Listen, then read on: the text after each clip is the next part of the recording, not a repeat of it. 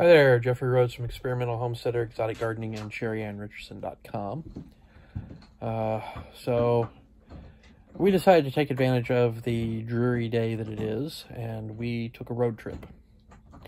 Uh, we went down to southern Indiana uh, to uh, Stream Cliff Nursery, Herb farm. Herb Farm. Um, this is someplace that Sheri's been wanting to go since, what, 2004? Yes.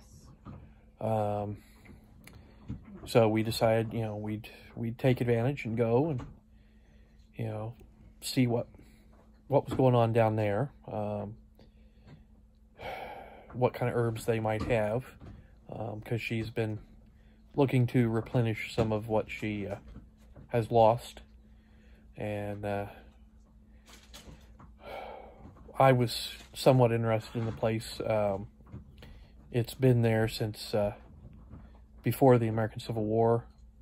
Uh, it was actually uh, a location that uh, John Hunt Morgan and his men stopped at uh, during their raid of Indiana uh, in 1863. they were actually at this farm in, on July 11th of 1863. Um, so that was a little bit of an interest to me.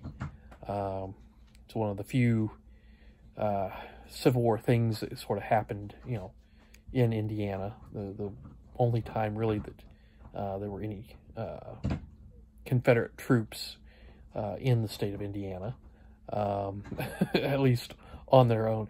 Um, there were, I think, uh, some that were imprisoned uh, in Indiana, but it was basically this was the only time that there were any uh, like battles taking place, skirmishes uh, in the state of Indiana. So um, Morgan's Raiders was, you know, is kind of a big deal to Indiana. Um, but uh, so I was I was interested to see, uh, and it it was interesting. You know, we didn't really get to wander around too much. Um, the uh, the winery aspect of, of uh, the farm was was uh, closed right now. The store, the general store, was closed. Um, the antique shop was closed. Um, basically, the only thing open was was the herbs, um, the the plant side of things, the greenhouses. Um, and we were a little a little disappointed in what they had. Um, it wasn't quite as, as exotic as what Sheri was looking forward to. Um, she was hoping to find uh, a little bit wider variety, uh, a little more um, exotic uh, plants. Um, we did get her a new uh, angel trumpet. Um, hers uh, did not make it a couple of years ago. Uh, we had a a cold spell and uh, the greenhouse just didn't hold temperature well enough.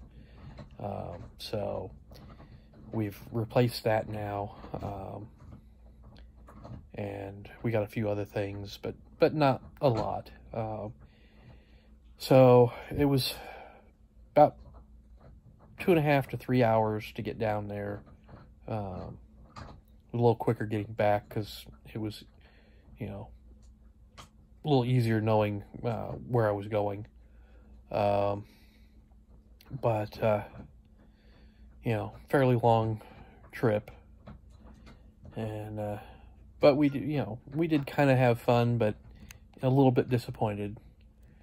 Um, so now we're going to kind of relax a little bit this evening and uh, see how things go tomorrow. Uh, we'll get started and try and get some stuff uh, hopefully accomplished tomorrow.